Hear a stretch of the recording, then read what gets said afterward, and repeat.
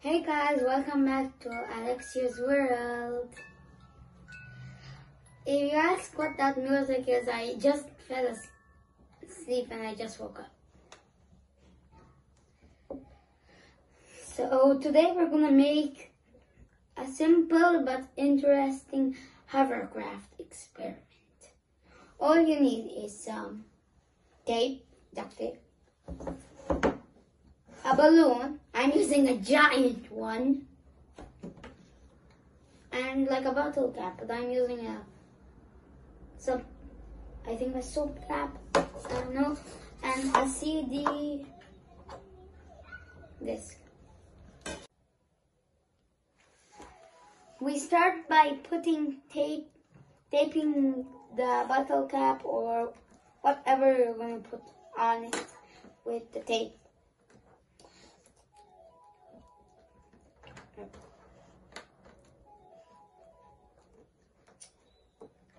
This tape is not sticky. You probably need a lot. But you see my point. And it should turn out something like this.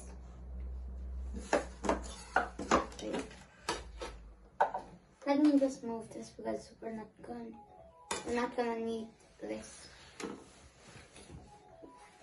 And then you have to blow the balloon up.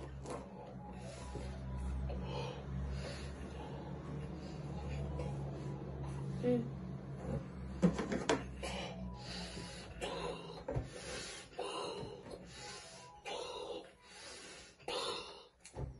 And then I have to then put it on, but you might need help from your parents.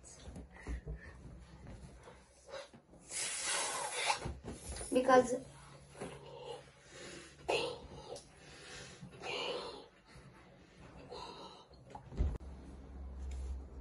with the help of my mom, she will, will put it you with the help of your parents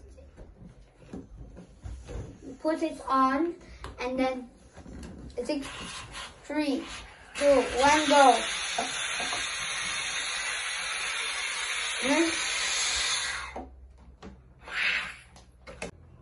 Wow, I can't believe it actually worked. Now, who knows how this hovercraft works? Well, if you don't know, I'm gonna tell you. The air pressure makes it fly just high enough from the surface so it doesn't have friction and sometimes the balloon goes like to a little side. And because this thing is more to a side it moves it to a side.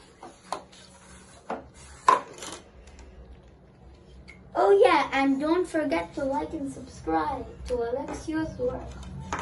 Goodbye.